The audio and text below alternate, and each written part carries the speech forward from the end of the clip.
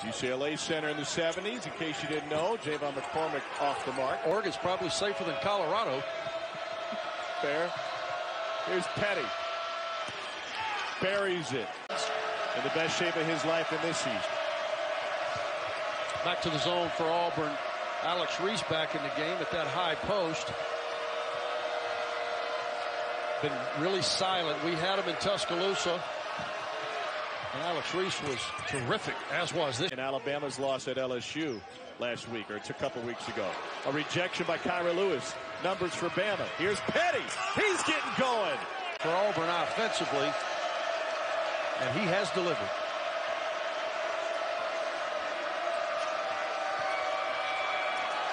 Petty for three.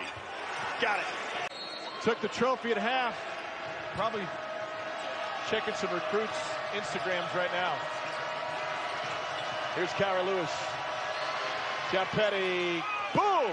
Big. Missed them both. 20 seconds to play.